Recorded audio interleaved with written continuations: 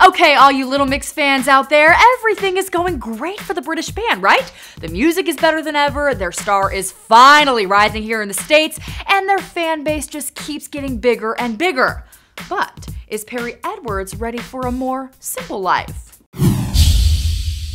Well, she didn't come right out and say it, but guys, she certainly alluded to a whole other life with her boyfriend Alex Chamberlain.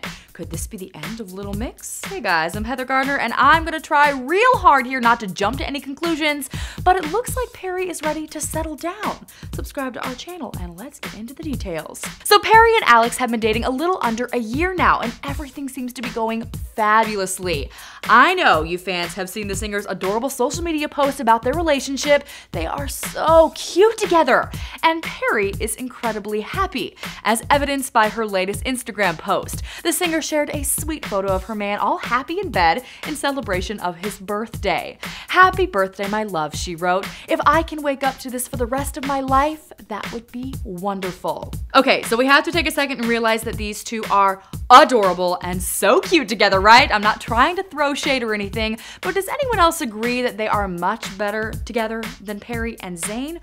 Let me know in the comment section down below. Okay, on to why I think this could mean big changes for Little Mix. Now, I'm not saying they're splitting up, don't get me wrong, but if Perrie is ready for the next chapter in her life, aka marriage and settling down, she's gonna have to scale back her time with the band, right? Eventually, at least. Okay, before you fans freak out, I will say that Little Mix has already assured us many, many times that they aren't going anywhere anytime soon. There always seems to be breakup rumors for the band, and every single time the girls firmly say, everything is fine. No boy, no movie role, and no catfight is gonna tear this group apart. So, am I being a little bit nuts here? It's okay, it's okay to call me out. Let me know what you think in the comment section down below. For more entertainment news, click the boxes and be sure to subscribe to Hollyscoop.